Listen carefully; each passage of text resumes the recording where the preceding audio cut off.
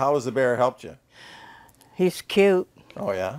yeah. I get a kick out of him. He really does help me. be- You know, even though when it first talks to me, and uh, you know, it, I'm sitting there by myself, and all of a sudden I hear somebody talk, I jump about two feet in the air. You know? but other than that, it really does help because you know I could. It reminds me that oh, it's that time.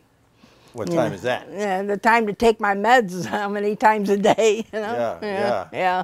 So it does help you take your medicine and make sure you get them. Get Yeah, taken? yeah. Sometimes you know I'm like get you get busy, you know, either Mm-hmm. watching TV or doing whatever, and and then you know the the bear will tell me, you know, Uh-huh, time to take yeah. your meds or whatever, and so you know it does. It stops me, and I go, oh yeah, I got to do this, you know. Oh yeah. It's cool, yeah. And the bear, uh, and you press the paw, yes or no, after you take your Oh yes, definitely. And it always tells me when it's happy with me. Oh, You're does. my best friend, or different things it says, and I crack up. It's just so cute. Uh-huh. You know, if I say I've taken my meds, you know, I, I press the one paw. If you don't, you press press the other paw. So, Mm-hmm, you know, and I always press the one that I take them, and and they, oh, you are my best friend, or whatever. You know, it's cute. Uh-huh, It really is cute. Yeah, yeah. Yeah. Yeah, I live in a senior apartment, Uh-huh. actually. Yeah. And you say that you've uh, taken the bear around the building. Oh yeah, I took it. Like we sit outside a lot of times, you know. So I'll take it out. a couple times I've taken the bear out, and my friends look at me like, "What the heck? Is she regressing or something?" but uh, then I explain it to them, and they get a kick out of it too, you know. Mm-hmm. So yeah.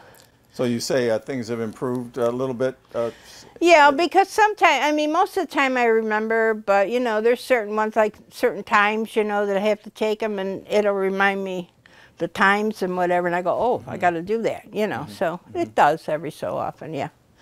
It's it's definitely yeah. And uh, do you have any trouble? I guess you don't have any trouble hearing the bear, or you hear? No, you yeah. definitely- Well, it's, he, he sits right on the sofa with me. oh, he does. yeah, uh-huh. he's got his special place, you know, right on my sofa, just a few few little inches uh-huh, away. Uh-huh. so, in other words, life is a little bit better now that you have the bear. Well, yeah, it is. It definitely, you know, takes the the worry off of me. Like, am I going to remember my medications? You know, because sometimes you get busy and you don't think about it. But I already know that he'll tell me. Oh yeah.